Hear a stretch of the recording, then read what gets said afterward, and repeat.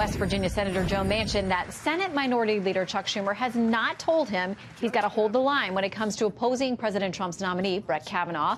This will turn into a battle over key senators for confirmation. Joining us now, Dave Brown, a Democratic strategist and former senior advisor to Washington Senator Patty Murray, and Fox News contributors Katie Pavlich and Marc Thiessen. Welcome to all of you. Hi, Shannon. All right, great to have you with us tonight. Dave, I'll start with you. Um, we had already heard from your former uh, boss over the weekend that there was opposition to this particular, or whoever was going to be the judge, uh, worried about rolling back Roe v. Wade and civil rights and all kinds of other things. Is that an overreaction? No, it's not. If anything, it's a reflection of the real stakes that are at issue here. I mean, th th this isn't a political game. Uh, real people their lives are at stake for how this court rules. And I think you saw that in, in, Senator Manchin's statements earlier today when he said his chief priority is to the people of West Virginia. It's one of the reasons why he's going to be focused on uh, Judge Kavanaugh's views on whether or not people with pre-existing health conditions can be discriminated against on the basis of those conditions, and the judge's views more broadly on, on health care and his judicial philosophy in terms of how he would look at Obamacare. You know, we talk about Obamacare inside the Beltway as a fun game, but for people out in America, who are relying on Obamacare for their health insurance, their family's health insurance, uh, that's that's real stakes. That's table stakes. And so this this matters in terms of who the next justice will be and what a 5-4 vote can mean next term. Well, and Katie, it's interesting because there are actually conservatives who are worried about Kavanaugh because they think he wasn't tough enough on the Obamacare uh, legislation when it came before him as a judge.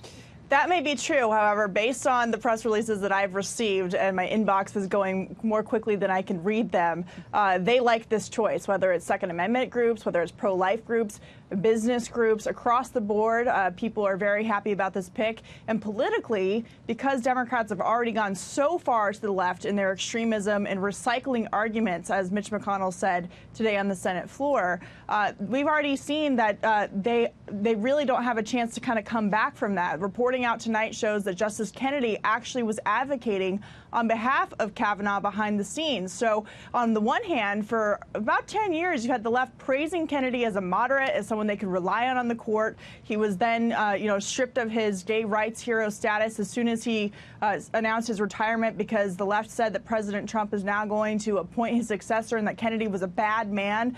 Uh, the American people are smarter than the left gives them credit for. They want substance. It is fair for everybody in the Senate to question Kavanaugh's record. It's long, 300 opinions in the last 12 years. However, going after his character, engaging in uh, you know, scare tactics and not going after the substance and simply making arguments on emotion really isn't going to fly.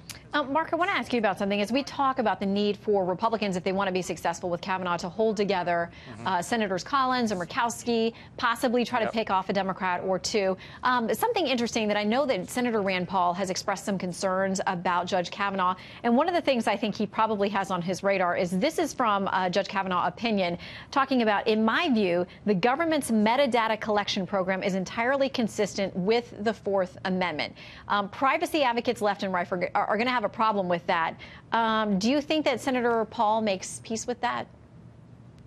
Uh, I'm sure Donald Trump will, get, will do his best to get him to do that. Uh, but actually, that is really the red states Democrats' uh, greatest uh, fear is if someone like Rand Paul uh, defects. Because look, this is going to be a disaster for red state Democrats. Because if you saw that, you saw the firsthand that crowd on the Supreme Court steps. Imagine what they would do to a Democrat who gave his vote to to put Brett Kavanaugh on the Supreme Court. They're going to throw everything that they have at this guy. It's going to make the Bork hearings look like a kumbaya session. And the red state Democrats are caught in the middle of that crossfire because the left is going to be demanding that they vote to kill Kavanaugh's nomination, and their constituents in these states that Donald Trump won by 20, 30, 40 points are going to be demanding that they vote yes. If they, if all the Republicans hold together, then it's a free vote because no one cares if they're the 51st, 52nd, 53rd vote. But if one Republican defects, Manchin, Donnelly, Heitkamp, they become the deciding vote. Yeah, they don't All of a sudden, that. politics have changed completely. Yeah. All they don't, they do not want yeah. that situation. Well, I, so we're so almost out of time. So I, I need to together. ask each of you, not whether you want him to or not, but whether you think or not Kavanaugh will get the votes that he needs uh, before the midterms. Dave, we'll start with you. Yes or no? I, I think it's too soon to tell. We need to see his record, and we need to see the thousands of pages from the Bush administration that he had a part in. All right, Katie. I think he'll get confirmed. He seems like a moderate, middle of the road guy. It's very clear the Trump administration was very careful in selecting him for political reasons, knowing this would be a tough confirmation f- uh, fight. I think he'll get conf- confirmed. And I think that Rand Paul even will come through. All right, Marc. Uh, Democrats' worst nightmare would be if it got dragged out, because right now they have an enthusiasm uh, advantage going do. into the midterm elections. If they're holding up Donald Trump's nominee for the Supreme Court, that's going to get the right galvanized, that's going to get Trump supporters moving, and it's going to cost them the United States Senate and uh, probably pickups in the United States Senate and maybe even the House. All right, Marc, Katie, Dave, thank all of you. There was Thanks, definitely no kumbaya happening uh, out there on the steps, but there is here tonight. Glad Good to see all of you. Shannon.